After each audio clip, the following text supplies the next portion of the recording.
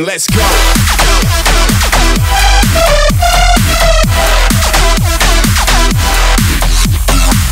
Hey guys, Hasbo1999 here. Hope you like the new intro, but uh, here is how you create a RAM disk on Mac. So the first thing you will do is you're gonna go you're gonna go into your uh, internet browser. Mine is Google Chrome because, yeah. Then you're gonna search TMP disk for Mac. Oops, I didn't mean to open up another window, but uh, whatever. And then you're gonna go to this one here. It's the second result down, and then you're gonna you're gonna to click on download. And I already downloaded this, so yeah. And then once you do that, you open it up and uh, uh, you drag it into your folder thing here. I'm just gonna rearrange this by name so I can easily find it.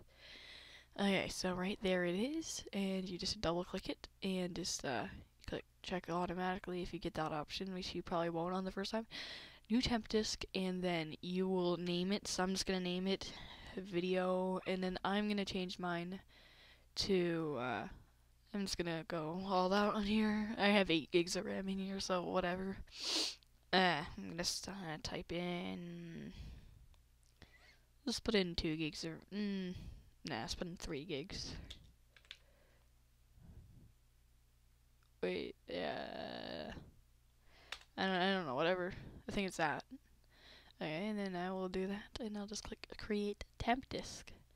And then uh, once you do that, you will you can just go into Finder and you will see it right here. The advantages of having one of these temp disks is that uh, they're very, very, very, very fast. Here, I'll give you a little demo of how fast it is. Uh, let me go to my applications folder. Okay, so um, I'll just take these four files right here. I'm just gonna check the size just to make sure. Uh, 43. Okay, these sh these should be good. I should be able to fit these on my disk onto it because it was uh, three gigs, so I shouldn't have to really worry about that. So this is quite a bit of files right here. There's four of them, and they're big size files. So I'm gonna drag it on here and see how long it takes.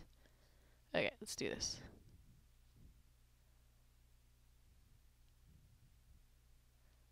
It says preparing, and these things, keep in mind, these things are extremely fast. Uh, you know, I'm just copying a lot of files, like a, oh, oh, okay, okay, there wasn't enough space. Darn. Okay, so I'll pick, uh, I'll just pick, uh, let's pick these four right here, and I'll just drag these on here. And that's, uh, right there, that's putting it on, and here's taking it off.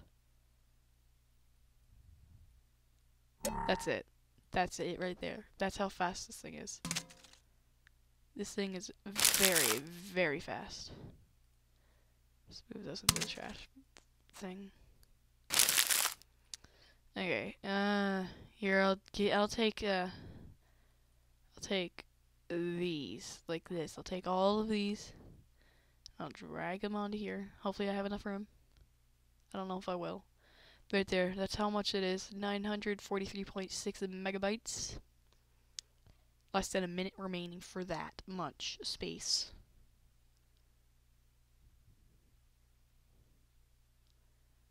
And I will also, if you guys want to, I will actually test it out and show you how long this right here, all this will copy. I'll show you guys how long it will take for my, uh, not my hard drive, my uh, flash drive, my uh, 4 gigabyte flash drive.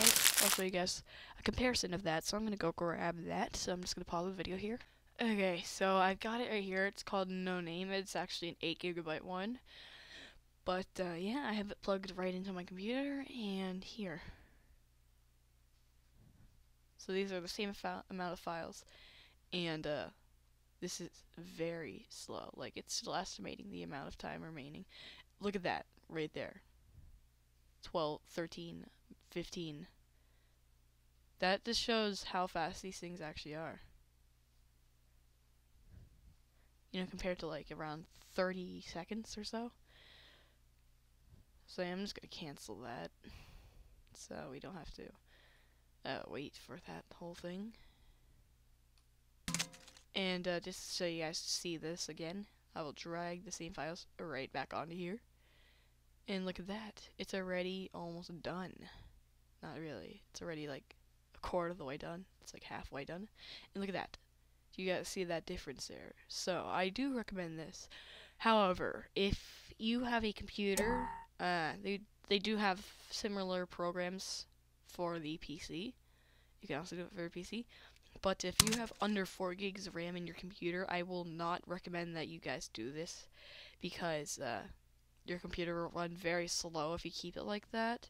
And if you're on a Mac and your Mac has a uh, Intel integrated graphics card like mine does, you know, like if it, you if you have like a MacBook, MacBook Pro, Mac Mini, you know, all that stuff.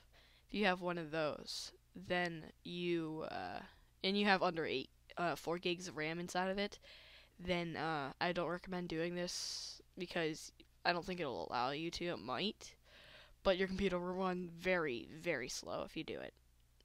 Most likely, it depends on how big of a partition you make it. But uh, yeah, in order to get rid of it, I will just uh, make another one. Sorry about that. I deleted it. Yeah, just create it. Oh. I have to make a name. Just, uh. Uh, it won't let me type my. Oh, I unplugged my keyboard. Oh. Uh. Okay, so I'm just gonna make a 16 gigabyte one and just a quick show you how to get rid of it. So right there it is. You know, you just go into your Finder and then you just click eject and that's it. And then to close the program completely, you just click on that and then quit and that's it. So yeah, thank you guys for watching and goodbye.